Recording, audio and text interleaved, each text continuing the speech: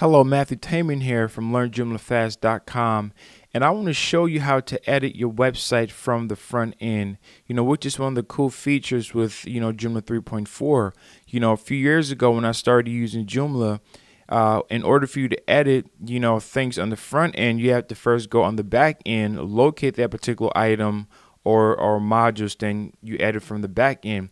So what Joomla have done now is they've made it so easy for you to, you know, right in the front end for you to edit anything on the front end. But in order for you to do that, you would first have to log in. So I'm going to log in to the front end of the site and then click login.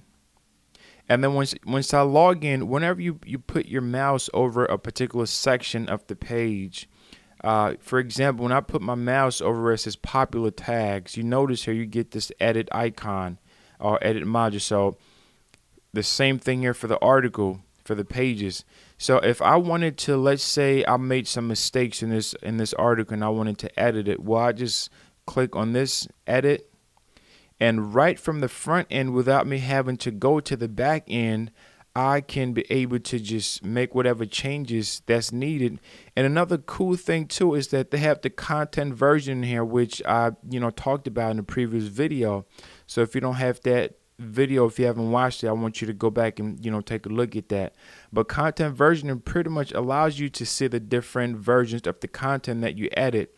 And if you have multiple users on your site this is really great for accountability because then you can be able to see who made the changes uh, the time that they made it and the changes that you know was made on that particular um, article. And you can also restore this back to the uh, previous version. So that's another cool thing so I'm going to X out of that. So once you've made whatever changes that you want to make, you can click save or you can choose the publishing options. You can choose the language, you can choose the metadata.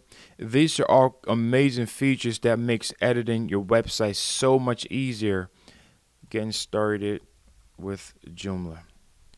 And I'm going to click save.